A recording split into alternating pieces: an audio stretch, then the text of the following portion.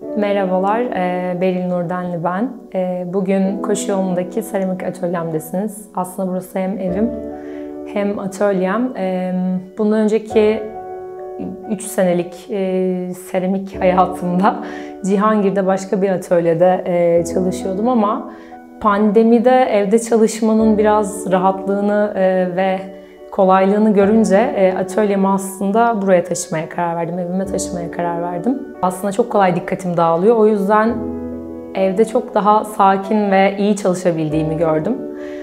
Bu e, koşu muhiti de zaten çok sessiz, çok sakin bir yer olduğu için e, Cihangir'den sonra e, bana çalışma alanı olarak çok iyi geldi diyebilirim.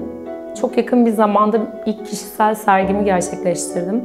Yapmış olduğum Oksimoron isimli koleksiyonu sergiledim. Aslında e, işlere başladığımda böyle bir sergi niyetim hiç yoktu. Sadece e, biraz ben her şeyi e, kullanma isteğimiz, her şeyi bir bir şeye dönüştürme isteğimizi e, sorguluyordum. Formlarım hem e, vazoyu, sürahiyi andırıyor ama aslında e, kullanıma uygun değil. Biraz bunu düşünürken e, koleksiyon ortaya çıktı e, ve sergim gerçekleşti. Bunun dışında kendi işlerim ve kendi koleksiyonum dışında e, bazı mimari ekiplerle çalışıyorum. Onların e, kendi tasarımlarını e, ben seramikle üretiyorum aslında diyebilirim. Kendi koleksiyonum e, üzerinde şu an çalışıyorum daha çok. Aslında koleksiyonlarım.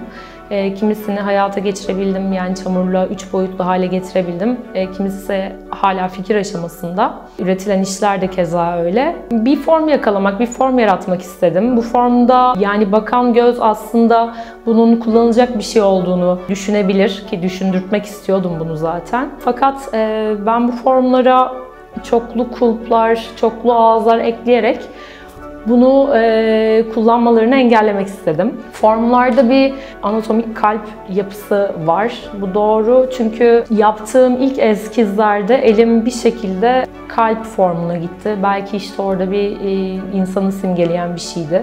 Ve ben e, çok fazla böyle her şeyin eskizini yapan bir insan değilim. E, o ilk eskizle başladı. Daha sonra çamurla e, ben o eskizleri yapmaya başladım ve formlar ortaya çıktı.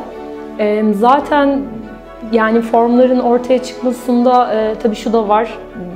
Bizim kültürümüzde de yani hem Anadolu hem Mezopotamya'da e, baktığınız o seramik formları, binlerce yıldır yapılan çömlek formları yine benim e, yapmış olduğum oksimoron e, koleksiyonunun formlarında da görülüyor.